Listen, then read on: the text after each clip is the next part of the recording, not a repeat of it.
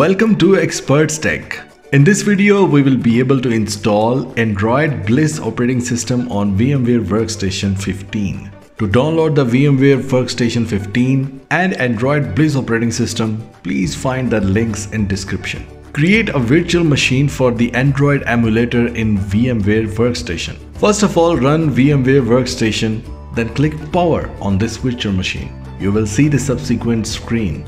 Select option Installation Install Bliss operating system to hard disk and press enter. Press C, select create modify partitions and hit enter. Select no for the use of GPT and hit enter. Now we need to create a new partition. Select new and hit enter. Select primary and hit enter. Select the size that you want for the new partition. I have selected all and hit enter. Select bootable and hit enter. Under the head flags, it should show boot. Select write tab. This may create the partition table, which makes sure that you can simply use the new partition for the installation of Android Bliss operating system. Type yes and hit enter. Select quit and you will return to the installation screen of Android Bliss operating system with a partition available called SDA1. Select SDA1 and then press enter for the installation. Select ext4 as the file system and then hit enter. Select yes and press enter.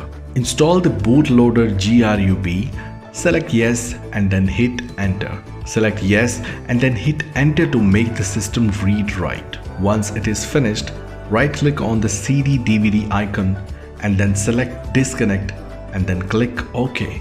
Select the reboot option and hit enter to restart Bliss operating system.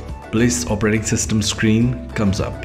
This is welcome screen of Bliss operating system. After finishing the setup, you will see the operating system ready to use.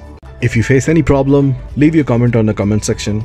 If you want to purchase this service, contact us on WhatsApp or email address. Like the video, share the video, subscribe to our channel for more solutions. See you in the next video. Bye-bye.